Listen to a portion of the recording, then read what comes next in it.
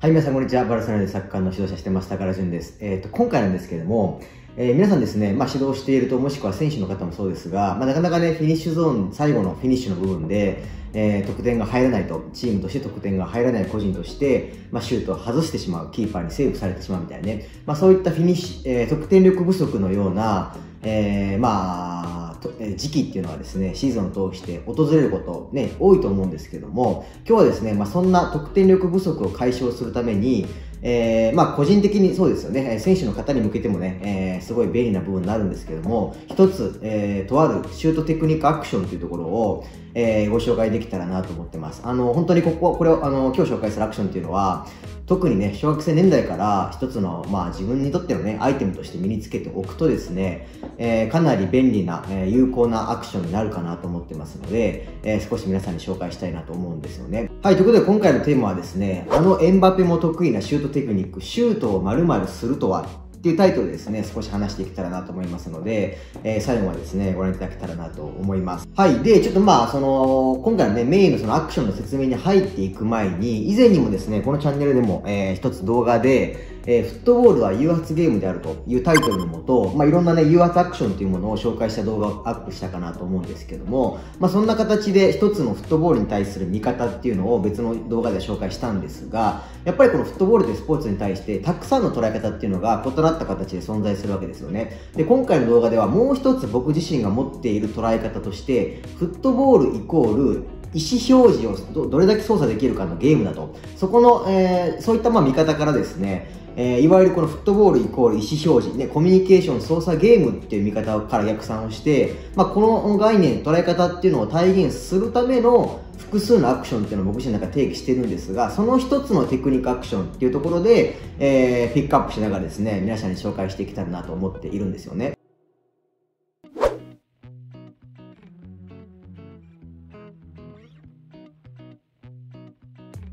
はい、ということでですね、ここから少し画面を共有しながら、えっ、ー、と、一つ一つ説明していけたらなと思っていて、まずはじめに先ほど冒頭にも少し口頭ではね、紹介した、いわゆる一つのフットボールに対する見方ですよね。フットボールイコール、まあ、意思表示をどのようにして、えー、まあ、操作していくかのゲームであるっていうような捉え方を少し口頭では説明したと思うんですが、そこっていうのをもう少し具体的に冒頭に説明してからですね、えー、っと、今日のメインテーマでもあるテクニックアクションの説明に移行できたらなと思っています。はい、ちょっと難しい内容になるかもしれないんですけども、すごい大事な概念かなと思ってますので、ぜひ皆さんにも、えー、見ていただけたらなと思っていて、まずですね、やっぱり僕、自分の中では、このフットボールっていうスポーツ、いろんなアクション存在しますよね。それは守備アクションもそうですし、攻撃アクションもそうですけども、それら全てのアクションには、やっぱりこのコミュニケーション要素、意思表示要素ですよね。っていうものが関わってくると考えているんですよね。要するに、今の自分は何を行いたいのかっていうところの意思表示をどのように操作できるか。ここっていうのがやっぱりフットボールっていうスポーツをプレーする中で鍵となってくるわけなんですよ。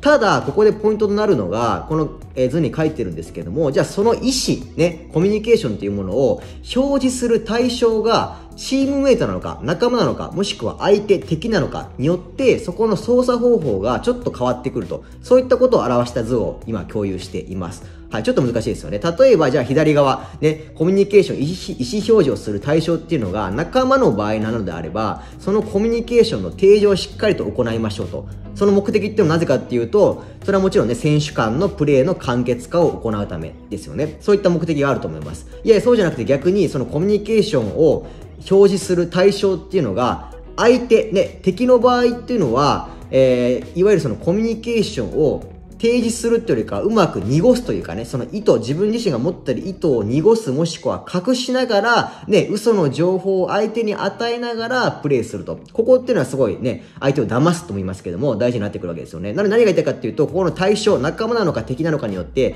コミュニケーションの操り方、操作方法っていうのが、まあ変わってくるという話なんですよね。で、まあ、以前このチャンネルでも、えっ、ー、と、まあ、先日意図から見る20タイプのコントロールっていう動画をですね、3つほどの確か動画に分けてアップしていたと思うんですけども、いわゆるあの動画内でも紹介してたコントロールたちっていうのも、ここでいうところの自分自身、コントロールを行う自分自身っていうのが持つ意図を相手に対して嘘の情報を与えながら、隠しながらコントロールってアクションを実行していたと。そういった話もあったと思うんですが、そういったものっていうのが、えっ、ー、と、まあ、繋がってくるという話ですね。はい。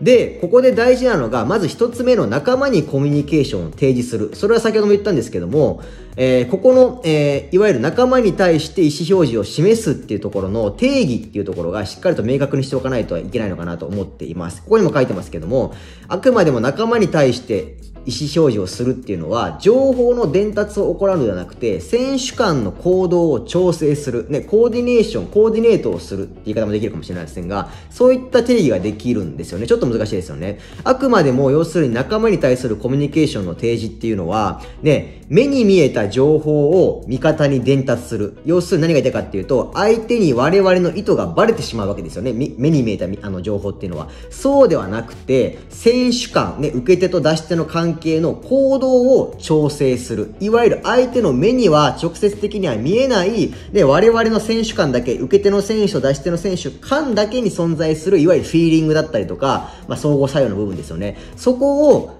えー、調整する、鍛えていく。ここっていうのがあくまでも定義としてあります。ちょっと難しいでしょうか。はい。つまり何が言いたいかっていうと、いかに普段のね、皆さんが行うトレーニングから選手間二人組のフィーリングだったり、タイミングもそうですよね。っていうところを高め合うことができるのか、で、鍛えることができるのか。これによって、いわゆる相手が予測のできない選手間のコーディネーション能力、いわゆる行動ですよね。が生まれてくるというところですよね。これっていうのがよく言われる俗に言うところのグループ優位、グループの優位性だったりとか、二人組の優位性だったりとか、まあ、社会的優位性とかいろいろ言い方、言い方あると思うんですけども、まあ、そこにつながるというところですよね。まあ、よく、あの、例に挙げられるのは、それこそ当時のダニ・アウベスとメッシなんかは、もう、いわゆる情報の伝達を、で、目に見える情報として、例えばジェスチャーだったりってあんまりしないんだけども、もう本当に感覚的にフィーリングの部分で彼らの行動はもう調整されてるわけですよね。そこっていうのがまあ究極ではありますけども、えー、目標になってくるという話ですね。こうすごい大事です。はい。で、逆に後者の先ほどもあった敵に対して意図を隠す、ね、嘘の情報を与えるっていうのは、ここにも書いてます。敵はもちろん対峙する物体なんだけども、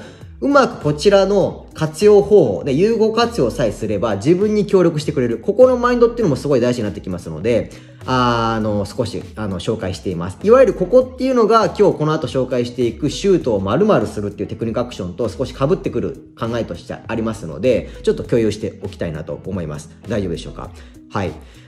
ではですね、ここから、えっ、ー、と、先ほど、今、それこそね、説明したばかりの2番、後者に当てはまる、相手に意図を隠しながらアクションを達成していくための一つのテクニックアクションっていう意味で、えー、と、冒頭にも言いましたね、シュートを丸々するっていうアクションをですね、ぜひ皆さんに紹介していけたらなと思ってます。はい。で、あの、前回の多分1個前のこの YouTube の動画でも登場してきたエンバペの少し例を今日は、今日も出しながらですね、皆さんに説明していけたらなと思っていて、まあ、あの、カタールね、ワールドカップでも大活躍したエンバペですけども、やっぱり彼の、それこそ皆さんも YouTube 開けて、彼の例えばゴール集みたいなのを検索してね、見てみると、本当に8割9割のゴールのシーンっていうのが、今日紹介していくこのテクニックアクションを使ってゴールに結びついているというとこあるんですよね。はい。で、それの、もう言ってしまうと結論言うと、その、えっ、ー、と、紹介するアクションの名前っていうのは、シュートコースを隠すってアクションです。これっていうのは今日紹介するアクションになります。はい。まあちょっと言い方変えると、シュートコースを騙すとか、えー、っていう表現もね、スペイン語でもされますが、このシュートコースを隠すってアクション、どういったことなのか、ここっていうのをちょっと見ていけたらなと思っています。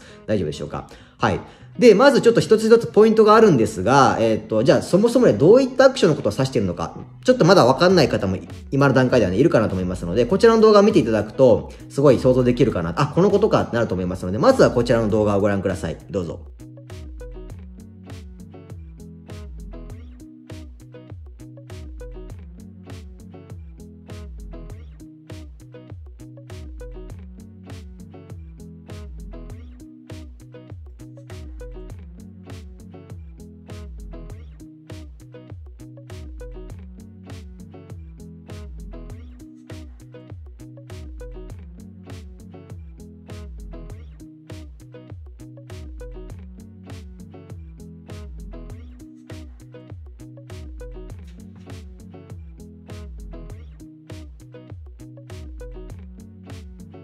はい、ということですね、今、エンバペのいくつかまとめたシーン、動画っていうのを見ていただきましたが、まあ、これはね、今日の場合はエンバペをちょっとね、ピックアップして紹介してますけども、エンバペに限らずにですね、得点を量産するような、まあ、ストライカータイプのね、え、トップのプレイヤーっていうのが、まあ、共通して持つ一つのシュートアイテムというかね、テクニックアイテムなのかなと思っています。まあ、先ほどもちらっと言いましたが、スペイン語ではシュートコースを隠すって表現がされたりとか、シュートコースを騙すといった表現がされるんですけども、じゃあこのアクション、もう少しやっぱ言語化をして、ね、選手たちに伝えたいっていうところね、指導者としてあると思いますので、大きく分けて3つのポイントが僕自身あると思ってますので、ちょっとそこを静止画とともに最後見ていけたらなと思っています。はい。まず1つ目のポイントは、体と目線の向きでゴールキーパーの重心を一方方向に傾ける、もしくは固定するっていう言い方もできるかなと思います。ここまあちょっと静止画ですけども、こんな感じで、えー、体の向き、ちょっとこのシーンはね、もしかしたら目線ちょっと下がってるかもしれませんが、そこに加えてやっぱり目線までもね、えー、と、最終的にシュートを打つ方向とは逆に持ちながら、相手のキーパーの重心を、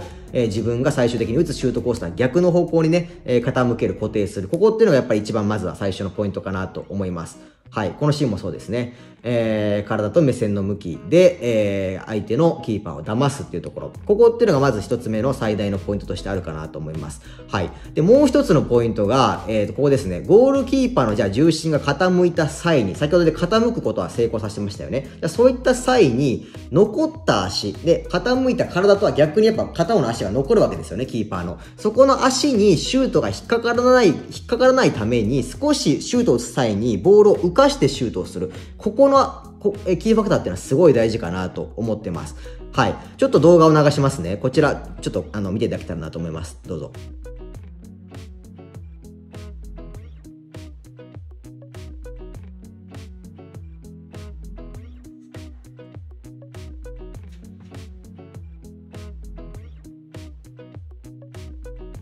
はい、ちょっと今ね、えっと、アーセナル時代のラカゼットの、えー、っと、シーンを見ていただいたんですけども、ちょっと動画内では見にくかったかもしれませんが、あの動画で、えー、っと、あえー、っと、出ていたプレーの静止画をちょっとここに出しています。1対1のシーンですね。このシーンもちょっと動画内では見えなかったかもしれませんが、よく見るとですね、ラカゼット、えー、先ほどの1つ目のキーファクター、えー、体の向き、えー、目線で騙したにプラスして、その残ったやっぱ足があるわけですので、ここに引っかかるために若干浮かしたんですよね、ボールを。そこっていうのが結構大事で、それこそエンバペのいいシーンを先ほど見てもらいましたが、結構失敗してるシーンなんかも見ると、割とこういったところで、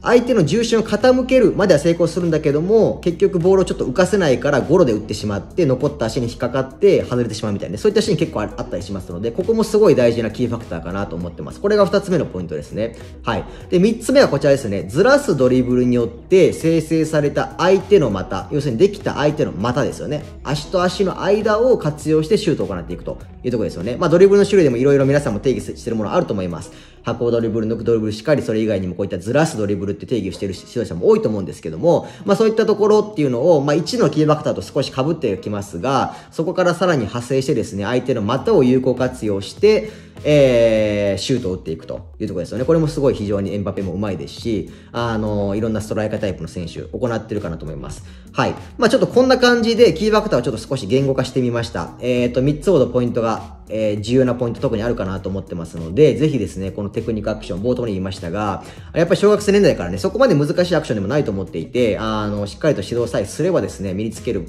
部分だと思ってますので、ぜひ、えー、特にね、前線でプレーするような選手はですね、えー、身につけていただけたらなと思っています。まあ確かにね、このエンバペのゴールシーンだけ先ほど見ると、ね、えっ、ー、と、今話してきた3つのポイントの以前の問題で、明らかにシュートスピードはそれは違うから、それはシュート入れよねっていうような思われる方もいるかもしれないんですけども、それを省いてでも今紹介した3つのポイントさえしっかりとこなすことができれば、まだパワーがない小学生年代からでもね、身につけることは可能かなと思ってる、すごい、すごい便利なテクニックアクションかなと思ってますので、えー、ぜひですね、えー、選手の方しっかり、指導者の方しっかり、えっ、ー、と、まあ、少し参考になればなというところで、今日はこちらのシュートを隠すというテクニックアクションを紹介させていただきました。はい、ということですね、今回の動画はここまでになります。えっ、と、少しでもね、参考になるようなテクニックアクションになってればなとと思いますし、あの、こういったね、えー、ミクロ単位の、えー、アイテム、スキルっていうのをできる限り早い段階からね、育成年代ついて、つけておくとですね、あの、一つの武器にね、えー、皆さんにとってもなると思いますので、ぜひ参考にしていただけたらなと思います。はい、ということで、えー、ここまでにしてですね、また次の動画でお会いできたらなと思いますので、今後ともよろしくお願いします。それではまた。